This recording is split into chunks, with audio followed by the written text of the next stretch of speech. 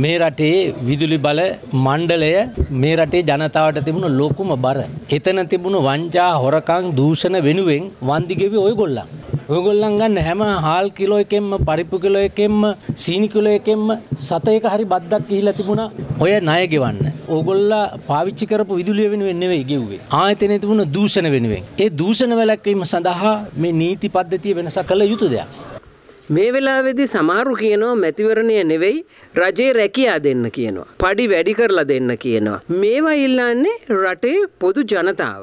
මේ අතරතුර විවිධ දේශපාලන පක්ෂ නායකයෝ කියනවා කවද්ද මැතිවරණේ තියෙන්නේ. රටේ ජනාධිපති කියලා තිනවා මන් නිසි වෙලාවට ඡන්දේ තියෙනවා කියලා.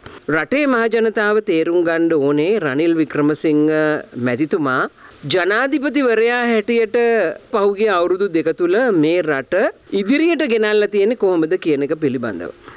රටක් හැටියට ණයගුලෙන් ගැලවෙන්න නම් ජනවරමක් සහිත පාලනයක් රටේ ස්ථාපිත වෙන්න ඕන. ජාත්‍යන්තර මූල්‍ය මුදලේ කණ්ඩායම අපි හම්බෙච්ච වෙලාවෙදිත් අපි තා පැහැදිලිව කිව්වේ මේ රට ණය කරපු ණය කිරීමට වග කියන්න ඕන. ඒ වගේම ජනතාවට ඒ බර පටවන ජනවරමක් නැති පාලනයකට කවදාකවත් මේ තත්ත්වෙන් උඩට එන්න බෑ.